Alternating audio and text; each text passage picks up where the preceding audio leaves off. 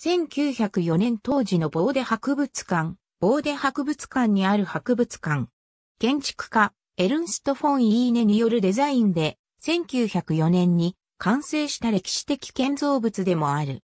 完成当時は、ドイツ皇帝フリードリヒ3世にちなんで、カイザーイコールフリードリヒ博物館と呼ばれていたが、初代、キュレーターを務めた、ビルヘルム・フォン・ボーデに敬意を表して1956年に現在の名前に変更された。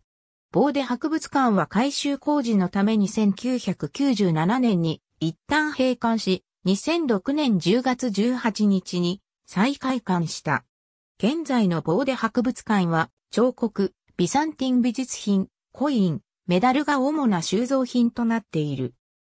彫刻のコレクションは東方教会、特にエジプトのコプト正教会関連のものが所蔵され、ビュザンティオンやラベンナから収集した中世、イタリアゴシック期、初期ルネサンス期の彫刻がある。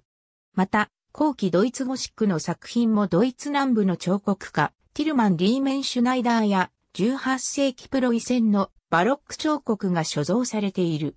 ベルリン美術館の絵画館に所蔵されている優れた絵画も、ボーデ美術館の彫刻コレクションに統合される予定になっている。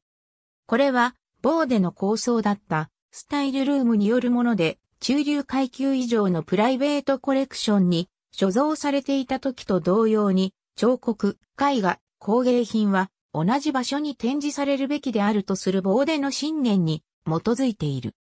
同じく博物館島に位置するペルガモン博物館に現在収蔵されているコインキャビネットは学問的に見ても世界有数のコレクションの一つである。紀元前7世紀の小アジアで最初に鋳造されたコインから現在のコインまで様々な時代のコインが所蔵されている。